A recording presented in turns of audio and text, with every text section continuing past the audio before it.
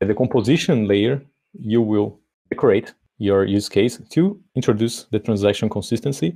Then your business logic doesn't need to know that there is a transaction, doesn't need to know that there is a database, doesn't need to know there is core data, there is RxSwift, there is anything in between them. Everything can be tested in isolation. Yeah, so you're wrapping the use case with exactly what you want, but it's all decoupled. That's the beauty of it. So you can test this in isolation. You can test this in isolation. You can test this in isolation.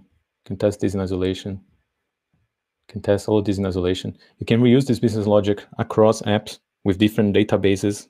You can also decide, you know what, this business logic is ready, but we don't have time to implement a core data implementation right now. You can simply create an in-memory storage just to test out your application and send to your stakeholders or use the file system for a while. At some point, your stakeholders come and say, you know what, we have a contract with Realm now. So we need to use Realm. Eh, no problem. Let's use Realm you have the freedom to change your whole infrastructure without changing one line of code in the business logic. And that's the goal. Yeah. You should be able to make performance improvements in the infrastructure, changing the infrastructure without having to change the business logic.